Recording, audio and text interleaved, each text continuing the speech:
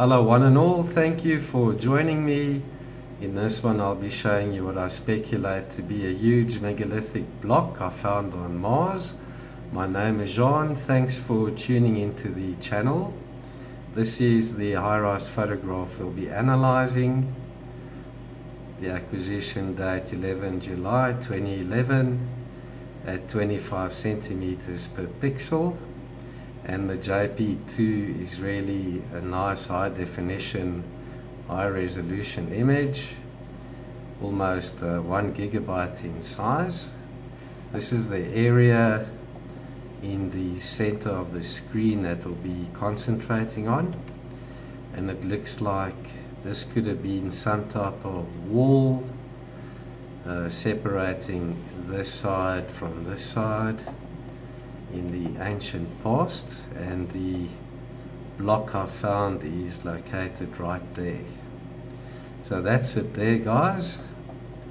Um, you'll see a lot more of these uh, megalithic type blocks that have come uh, dislodged from the wall and that is the block close-up. It's about, uh, I'd say about 8 meters wide and it's uh, partially buried in sand. And uh, this is that area zoomed out a bit with that block towards the top center. And uh, you'll see a lot more of these uh, similar type looking blocks uh, that reminds me of another retaining wall or possible retaining wall I found on Asimov.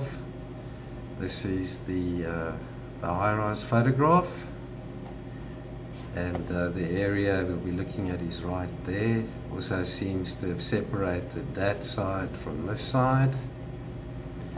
And uh, here it is up close. More of these uh, megalithic type blocks seem to have come dislodged and roll down the sides. Uh, there's one of those blocks close up, about uh, 12 or 15 meters across. And then uh, this one over here, about uh, 22 meters high. I'll include the link to this uh, blog post and video in the description below as well guys. So let's quickly check it out in Google Earth. The first block I showed you is located here. And uh, let's just switch on the HiRISE there we go. It's in that uh, HiRISE photograph there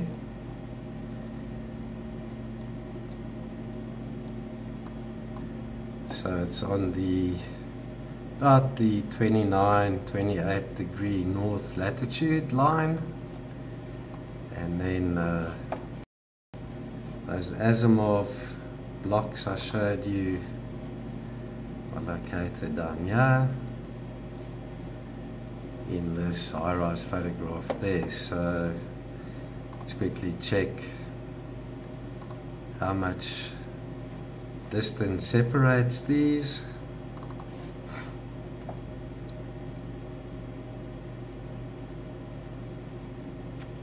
So that's about 5,700 kilometers between those two areas.